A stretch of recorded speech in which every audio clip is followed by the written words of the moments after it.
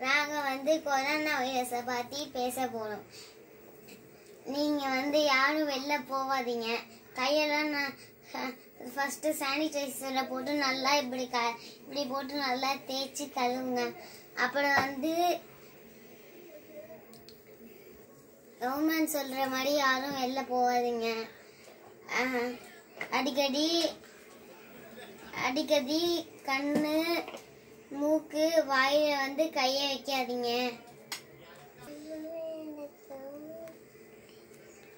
நான் அரசு சொல்ற பேச்சை கேட்டுட்டு வீட்டிலே இருங்க. நாங்களும் வீட்ல இருந்து வெளில போகல. யாரும் வீட்ல இருந்து போகல. நாங்களும் வீட்டில் தான் இருந்துட்டு இருக்கோம். அப்புறம் வந்து